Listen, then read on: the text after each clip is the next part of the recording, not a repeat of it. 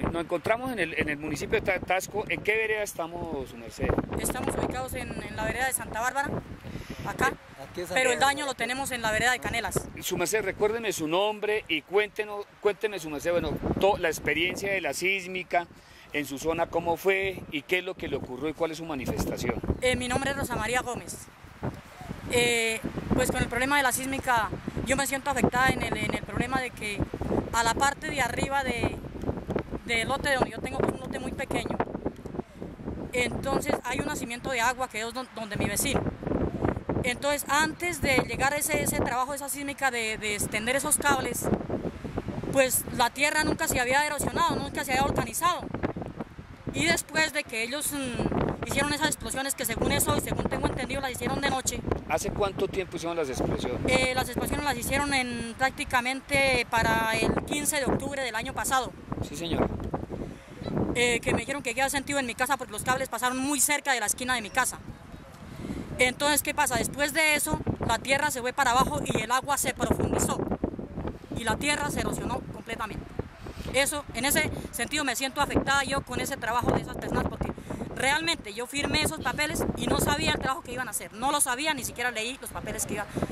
Yo me confié con lo que ellos dijeron, que no iban a afectar las tierras, que no les iba a pasar nada a las tierras, como siempre nos han dicho en las reuniones. Porque no solo creo que yo lo digo, creo que toda la comunidad de acá, de la vereda Santa Bárbara y Canelas, lo decimos, y el municipio de Tasco y de todos los municipios de acá de Boyacá.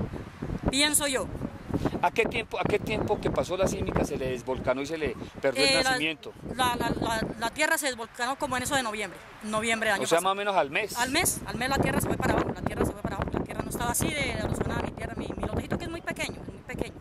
Y pasó, los cables pasaron por muy cerca de mi casa y como yo le dije a la ingeniera allá en, en la escuela de Canelas cuando la reunión, la última reunión que hubo, que hubo ¿qué días en, marzo cuando nos dijeron que nos iban a pagar lo- los 100 mil pesos, le dije, mire su merced, pero los cables pasaron muy cerca de mi casa y, y no sé con el tiempo mi casa qué le pase, pues, pues en este momento está un poquito abierta las paredes, claro que no mucho, pero no sé con el tiempo, no sé con el tiempo qué pueda suceder. ¿Y a cuánto hicieron, supuestamente los vecinos, a cuánto dicen que hicieron la explosión de- de- de- de- del sitio del nacimiento y del agua?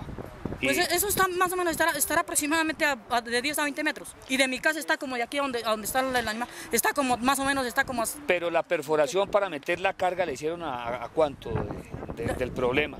La, la- la perforación para, para meter esa... esa, esa- El explosivo. Sí, el, el explosivo, eso, es- eso, eso está, mejor dicho, sumamente cerquita de- del agua, por, por ejemplo, a unos 10 metros, a unos, sí, aproximadamente 20 metros. O sea, no respetaron los, No, no, no, los señor. 100 metros que dice la norma ni nada. No, señor, eso está muy cerca, es que eso sí que vayan y miran que eso, eh, el, señor, el que estaba acá conmigo, el vecino, que lo diga él, que el, el nacimiento está donde él.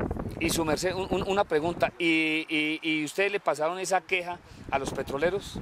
No, señor, no. Yo les dije que había, había pasado los cables y la, la- la explotación por muy cerca dijo que los cables no afectaban nada porque eso iba, era a llevarle un dato a los computadores para saber si sí había petróleo o gas, me dijo la señora ingeniera. Y después de que viene el deslizamiento ni han hablado con ellos, ni le han pasado ninguna carta, ni han manifestado nada. Nada, nada, no, Ni a la alcaldía, ni nada.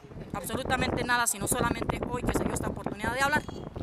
Bueno, Sí, señor, muy amable, muchas gracias. sí, a la orden, siempre a la orden.